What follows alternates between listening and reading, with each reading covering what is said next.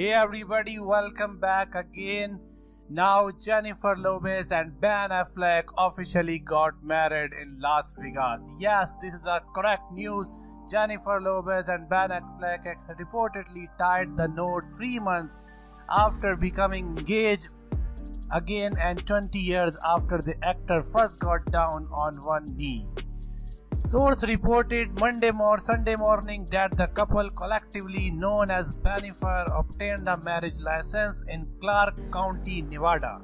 The license was taken out on Saturday and is in their legal names Benjamin Géza Affleck and Jennifer Lynn Lopez, a source close to the on-off couple who previously dated between 2002 to 2004 confirmed to the source they did end it. Get hitched and the license is a signal they are now man and wife. The wedding news comes exactly one week until the Bronx-born pop diva celebrities her 53rd birthday. And less than a month before the Berkeley-born Cambridge-raised actor will turn the big 5-0.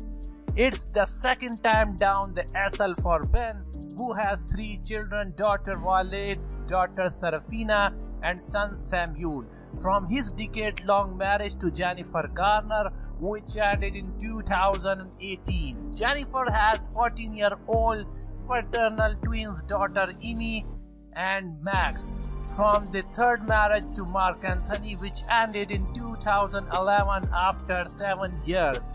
Thrice divorced, Lopez was also previously married to Cuban waiter Ojani Noa from February 1997 to January 1998 and her former backup dancer Chris Judd from September 2001 to June 2002. 2002. The halftime producer star was said to have started texting Affleck again in February 2021 and they went public with their rekindled romance in April 2021. The same month she announced the end of four-year relationship with ex Alex Rodriguez aimed cheating rumors. Meanwhile, the five-time Emmy nominee famously dumped by his Deepwater leading lady Ana de Armas over the phone in mid-January 2021 after a young year-long relationship. I feel so lucky, I'm happy and proud to be with him. It's beautiful love story that we got a second chance. Jennifer Gush in February.